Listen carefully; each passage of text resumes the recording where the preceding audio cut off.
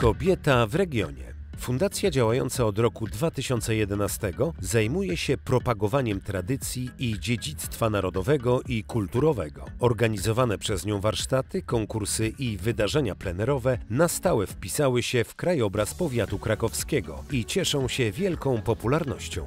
W swych staraniach na rzecz zachowania lokalnej kultury i tradycji współpracuje z innymi stowarzyszeniami, a wysiłki te zostały w roku 2017 docenione przez ministra kultury i dziedzictwa narodowego, który przyznał prezes fundacji odznaczenie Zasłużony dla kultury polskiej.